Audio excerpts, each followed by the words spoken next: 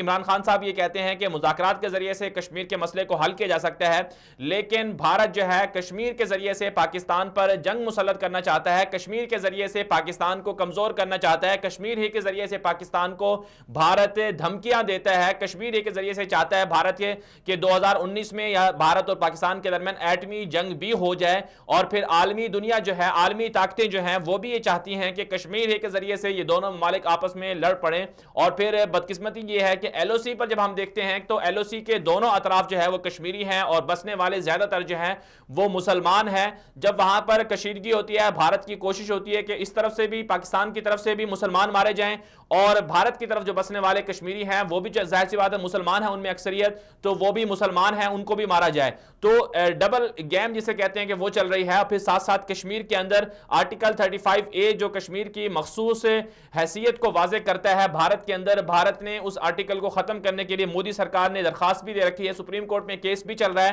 اور دوسری طرف سے کشمیری عوام جو ہے وہ سراپا احتجاج ہے۔ جو آرٹیکل 35 اے ہے، اس کے مطابق ہندو جو ہے وہ کشمیر کے اندر رہ سکتے ہیں۔ ہندوؤں کو بسانے کا منصوبہ ہے، ہندوؤں کی آبادی بسائی جا رہی ہے اور ہندوؤں کو لا کر کشمیر کے اندر کشمیری زمین پر قبضہ کروایا جا رہا ہے۔ جس طرح سے فلسطین کے اندر اسرائیل اسرائیل جو ہے وہ یہودی آبادکاری کرتا ہے، اسی طرح سے انڈیا جو ہے، ہندوستان جو ہے، وہ کشمیر کے اندر آرٹیکل 35 اے کو معطل کر کے وہاں پر ہندوؤں کو بسانا چاہتا ہے۔ تاکہ وہاں سے جو کشمیری عوام ہے، ان کو ختم کیا جائے اور مکمل طور پر قبضہ کر لیا جائے کشمیر کی زمین پر۔ تو یہ صورتحال چل رہی ہے کشمیر کے اندر۔ تو اس کے مقابلے میں پاکستان کے اندر کشمیر کمیٹی بنائی گئی۔ اس کے مقابلے میں پاکستان کے اندر بہت بڑے اجلاس ہوتے ہیں، بہت بڑی کانفرنسیں ہوتی ہیں، بڑی بڑی سیاسی جماعتیں اس میں شریک ہوتی ہیں۔ پاکستان سے اور دنیا بھر سے اس حوالے سے تنظیمیں بھی کام کرتی ہیں۔ پاکستان سے لوگ بھی جاتے ہیں۔ ڈیلیگیشن یو این جاتا ہے جنیوا جاتا ہے سوئٹزرلینڈ جاتا ہے، مختلف ملکوں میں جاتا ہے۔ ہے پارلیمانی رہنما جاتے ہیں۔ کشمیر کے اندر، کشمیر کمیٹی کے اندر اگر اس کا جائزہ لے لیا جائے تو اکیس کے قریب جو ہیں وہ سیاستدان، یہ مختلف سیاسی جماعتوں سے تعلق رکھتے ہیں۔ وہ کشمیر کمیٹی کا حصہ ہیں۔ کشمیر کے حوالے سے بجٹ مختص کیا جاتا ہے۔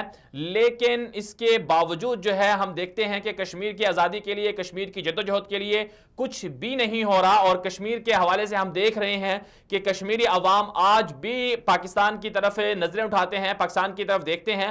پھر اگر بات کر لی جائے کشمیر کشمیر کے اندر کی تحریکوں کی بات کر لی جائے تو کشمیر کے اندر مختلف سیاسی جماعتیں ہیں اور مختلف تحریکیں جو ہیں وہ کام کر رہی ہیں، لیکن ان میں اختلافات نہیں ہیں، وہ آپس میں متحد ہیں۔